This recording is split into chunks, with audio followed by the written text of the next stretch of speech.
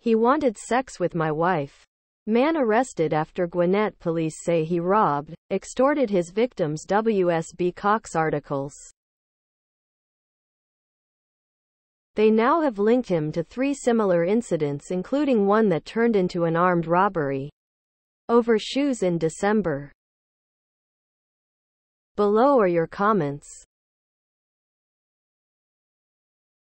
Another mindless one soon to be wearing stripes or some hard color, making gravel from large rocks W. ITH a hammer. Outdoor exercise, fresh air, physical activity, well supervised. What's not to like? Dot. Sounds like that is enough for a needle. Armed robbery over shoes not work boots. Dot. Fatherless activities. Fani Willis approves of his actions.